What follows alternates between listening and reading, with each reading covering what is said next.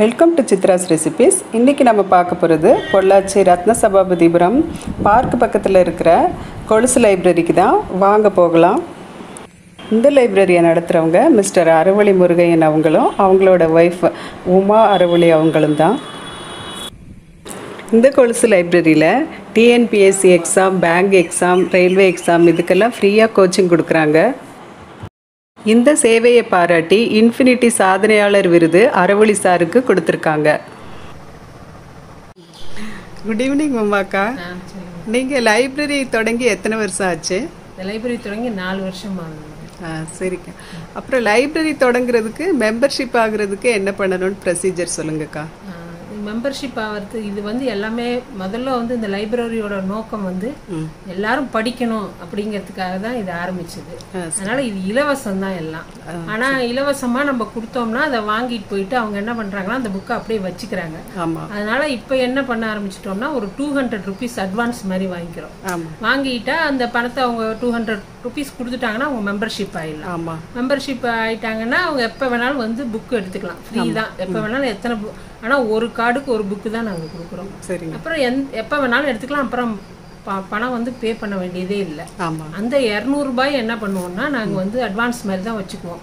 அவங்க இந்த ம- இந்த ஊர்லேருந்து ட்ரான்ஸ்ஃபர் ஆகி போகிறோம் அப்படின்னு சொன்னாங்கன்னா அந்த இரநூறுவா அவங்க புக்கையும் அந்த கார்டையும் கொண்டாந்து எங்கள்கிட்ட கொடுத்துட்டாங்கன்னா அந்த இரநூறுவாயை திருப்பி நாங்கள் அவங்களுக்கு கொடுத்துருவோம்.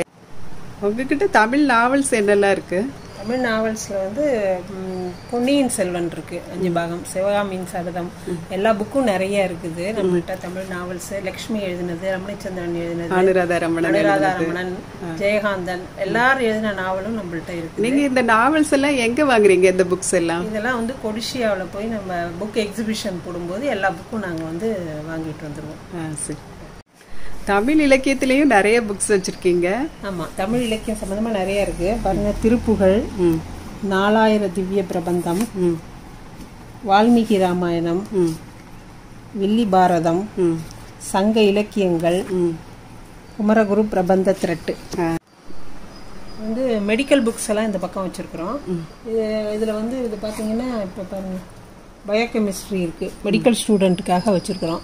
அவங்க யாராவது படிக்கணும் அப்படின்னு நினைச்சாங்கன்னா useful-ஆ யூஸ்ஃபுல்லாக இருக்கும். ஜேஇ மெயின் எழுதுறவங்களுக்கு அவங்களுக்கும் இந்த புக்ஸ் எல்லாம் நாங்கள் வாங்கி வச்சிருக்கிறோம். இது ரெஃபரன்ஸ்க்காக வீட்டுக்கு ரெஃபரன்ஸ்க்காக வச்சிருக்கோம். அவங்க வீட்டில் எடுத்து போய் படிச்சுட்டு திருப்பி கொண்டாந்து. இது கம்ப்யூட்டர் சயின்ஸ் புக் இந்த ரேக் பூரா இருக்கு. இது பூரா எங்க சார் எம்சிஏ படிக்கும்போது வாங்கி கொஞ்சம் கொஞ்சமா சேர்த்து இவ்வளவு புக் வச்சிருக்கிறாரு. பத்திரமா சி பிளஸ் பிளஸ் ஜாவா எல்லா புக்கும் வந்து இருக்குது. இதெல்லாம் அவர் படிச்சு அவருக்காக வாங்கினதுதான். இந்த ப்ரோக்ராம் சி பிளஸ் பிளஸ்லாம் படிக்கணும். புரியலன்னா எங்க சாரை வந்து நீங்க கேட்டுக்கலாம். இது கொரோனா வைரஸ் மாதிரியே இருக்குக்கா. அறிவியல் சம்பந்தமான புக்ஸ் வந்து நிறைய இருக்கு. இதுல வந்து எல்லா புக்கும். இது இங்கிலீஷ்லயும் வருது. Tell me. ஒய் அப்படின்னு ஒரு புக்கும் வருது. சரி. விண்வெளி பற்றி. ம். அறிவியல் களஞ்சியம். ம்.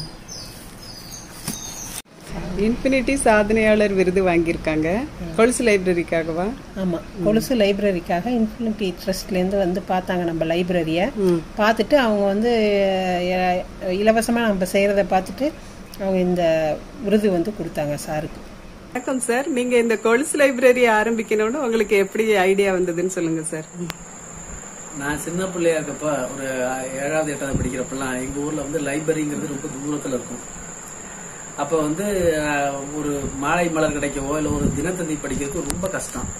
அப்பெல்லாம் நாங்க வந்து ராணி கல்கண்டு முத்தாரம் இதே மாதிரி புத்தகத்தை தான் தேடி தேடி போய் படிப்போம். அப்ப வந்து எங்க ஊர்ல வந்து ஒரு ஜின்னா அப்படின்னு ஒருத்தர் இருந்தார். அவர் ஒரு வறுமையில இருக்கிற வாழ்ற ஒருத்தர் தான். ஆனா அவர் என்ன பண்ணாருன்னா நிறைய பேர்கிட்ட வந்து ஒவ்வொருத்தரோடையும் பணம் வாங்கி ஒவ்வொரு பத்திரிக்கை ஒரு ராணி ஆனந்தவுடன் குமுதம் குங்குமம் அப்படின்னு புத்தகத்தெல்லாம் வாங்குவார். வாங்கி பேப்பரும் வாங்குவார். சாயந்தரம் ஒரு நாலு மணிக்கு திறப்பாரு. எட்டு மணி வரைக்கும் அவர் திறந்து வச்சிருப்பாரு. நாங்க எல்லாருமே நாங்க என்னோட நண்பர்கள் எல்லாமே சேர்ந்து அவர் எப்ப திறப்பாரு அப்படின்னு காத்திருந்து அங்க போய் அந்த எல்லா புத்தகத்தையும் படிப்போம். காமிக்ஸு சின்ன சின்ன புத்த சிறுவர்களுக்கான புத்தகங்கள் இதெல்லாம் நாங்கள் படிப்போம். அப்போலேருந்து எனக்கு வந்து சரி புத்தகங்கள் மேலே ஒரு ரொம்ப ஆர்வம் உண்டு. சரி நம்மளும் பிற்காலத்தில் ஒரு வசதி வாய்ப்பு வந்துச்சுன்னா இதே மாதிரி இப்போ இந்த ஜின்னா பண்ணுற மாதிரியே நம்மளும் ஏதாச்சும் செய்யணும் அப்படின்னு ஒரு சின்ன உந்துதல் என் மனசில் அப்பயே ஏற்பட்டுச்சு. அப்புறமா இப்போ வந்து ஒரு ரெண்டாயிரத்தி பதினாறில் தான் வந்து சரி நம்ம ஒரு நூலகம் அமைக்கலாம் அப்படின்னு சொல்லிட்டு என்கிட்ட வந்து ஒரு நாற்பது புக்கு என்னமோ தான் இருந்துச்சு அப்போ. சரி அதை வச்சு ஆரம்பிக்கலாம் அப்படின்னு சொல்லிட்டு வீட்டுக்கு முன்னாடியே இந்த கொலுசு நூலகங்கிறத வந்து ஒரு இருபதுக்கு இருபது சதுரடியில் இந்த ஏற்படுத்தணும். நாற்பது புத்தகத்தோட ஆரம்பிச்ச எங்களோட நூலகம் இப்போ வந்து கிட்டத்தட்ட நாலாயிரம் புத்தகம் இருக்குது. எங்கள்கிட்ட வந்து கதை கவிதை கட்டுரை அறிவியல் சம்பந்தமானது ஆன்மீகம் பகுத்தறிவு general knowledge even TNPSC competitive exams books இப்படி எல்லாமே இருக்குது. உங்களோட இங்கி பிங்கி பாங்கி கவிதை தொகுப்பு பற்றி சொல்லுங்கள் சார் கவிதையும் வந்து கிட்டத்தட்ட பத்தாவது ஒன்பதாவது பத்தாவது படிக்கப்புலேருந்து இருந்து கவிதை எழுதுவேன். ஏன்னா எங்க ஆசிரியர் வந்து தமிழ் ஆசிரியர் ராஜமாணிக்கம்னு ஒருத்தர் இருக்கிறார். அவரு தான் வந்து ஆண்டு விழா நடக்கிறப்ப சினிமா பாட்டெல்லாம் அப்படியே சினிமா பெட்டு மேட்லேயே மாணவர்களுக்காக பாட்டெல்லாம் எழுதுவாரு. நான் அப்படியே அதிசி அதிசயமா பார்ப்பேன். ஏன்னா கண்ணதாசன் மாதிரி இவர் இருக்கிறாரே நம்மளும் பாட்டெல்லாம் எழுதணும் அப்படின்னு சொல்லிட்டு அப்பயும் முயற்சி பண்ணுவோம். எனக்கு ஆனா அவ்வளோலாம் அவ்வளவு வராது. ஆனா சின்ன சின்ன கவிதை எழுதணும் ஆசை. அப்ப அந்த பத்திரிக்கையில வர கவிதையெல்லாம் படிச்சிட்டு இருப்பேன். அப்படி படிச்சு படிச்சிட்டு இருந்துச்சு. அப்புறம் கொஞ்ச காலத்துல எனக்கு கவிதை எழுதணும்னு ஆசை வந்து கவிதை தொடர்ந்து எழுத ஆரம்பிச்சேன். அப்புறம் அந்த வாட்ஸ்அப் ஃபேஸ்புக் இதெல்லாம் எழுதிட்டு இருந்தேன். இப்போ வந்து ஒரு இங்கி பிங்கி பாங்கி அப்படின்னு ஒரு கவிதை தொகுப்பையும் வெளியிட்டேன். இதுல வந்து பெரும்பாலும் வந்து என்னோட கவிதைகள் வந்து பெரும்பாலும் குழந்தைகளுக்கான கவிதையாகவும் இருக்கும். அதோட பகுத்தறிவு சார்ந்ததா இருக்கும். அறிவியல் சார்ந்ததா கவிதை தான் எழுதணும். மூட நம்பிக்கையில் இருக்கக்கூடாது மக்கள்கிட்ட அப்படிங்கறத வலியுறுத்துற விதமா தான் என்னோட கவிதைகள் அமைஞ்சிருக்கும் கொலுசுன்னு சொல்லிட்டு பேர் செலக்ட் பண்ணீங்கன்னு சொல்லுங்க சார் கொலுசுங்கிறது வந்து ஒரு பெண்ணை குறிக்கிறது பெண்பாலை குறிக்கிறது. எனக்கு வந்து ரெண்டு மகன்கள் தான் இருக்காங்க பெண் குழந்தை இல்ல.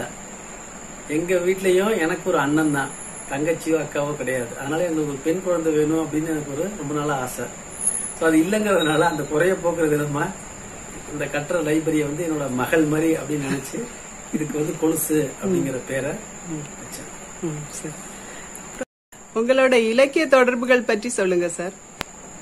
இங்க நான் பொள்ளாச்சிக்கு வந்ததுக்கு அப்புறமா பொள்ளாச்சியில வந்து பல இலக்கிய அமைப்புகள் இருக்கிறது. அதுல முக்கியமான வந்து பொள்ளாச்சி இலக்கிய வட்டம் அப்படின்னு ஒரு அமைப்பு இருக்கு.